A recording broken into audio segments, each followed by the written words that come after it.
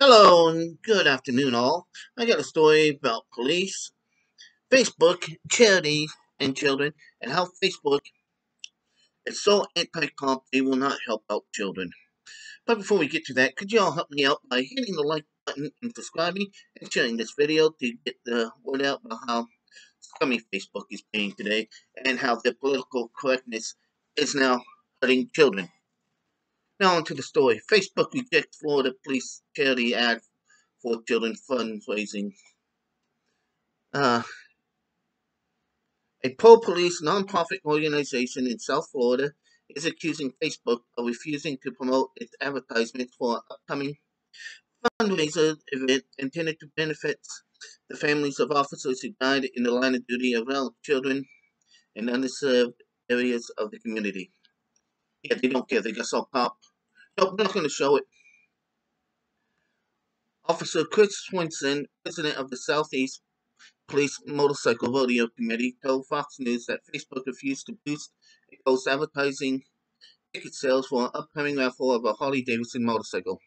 The raffle happens yearly to correspond with the in-person motorcycle event, due to the bullshit lockdowns, aka pandemic, the nonprofit is now more heavily relying on online ticket sales.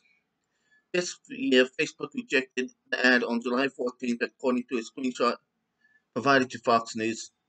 Southeast Police Motorcycle Rodeo Committee later filed appeal on June on July 20th. The social media giant sent them a message explaining the ad may have been rejected because it mentions politicians or is about sensitive social issues that could influence public opinion people vote or may impact the outcome of an election or pending legislation. It's a goddamn charity to help chill kids. All you saw was cop, and oh, it must be political. God damn. A personal opinion on politics, I'm not sure uh, through the charity whatsoever. We're not here to alienate someone. We don't care about political views, Swinson insisted in a phone interview with Fox News. Me raising money to buy computers and equipment and Washington dryers for the Boys and Girls Club has no emph- emphasis on po- politics or elections. Facebook told Fox News the ad was rejected in error, though it did not provide a date for when it was corrected. I don't know if it gets called out and found out, oh shit, we fucked up. This ad was incorrectly flagged as a polit- political and taken down for running without a disclaimer. So we have reversed the decision, a Facebook spokesperson said in a statement. All enforcement is never perfect since machines and human re- reviewers make mistakes, but we're always working to improve. Um, get rid of the damn algorithm and actually have people that can think instead of, oh, bad, no more. Proceeds from the raffles are intended to benefit charities including COPS, C, uh, which stands for Concerns for Police survivors, which dedicate to helping families who lost loved ones in the line of duty. The organization assists families with money, education, housing, and additional support. It runs camps for children of officers who died in the line of duty, as well as facilitating mental health services. Uh, it'll also be given to the Boys and Girls Club of Broward County. It's a 501c3.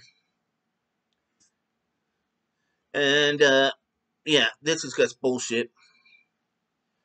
Uh, I cannot stand face this. Facebook's just shooting themselves in the foot. They're just becoming so woke that anything deals with cops, no matter what good they are, they on they just want to find the evil in cops. So they're not even going to help out children. So what do you guys think? You agree with me that Facebook is just being an asshole? Or do you think they have they it was they did nothing wrong. Please let me know down below. And if you made this far, consider hit the like button and subscribe. And as always, be good, have fun, stay safe. Bye bye.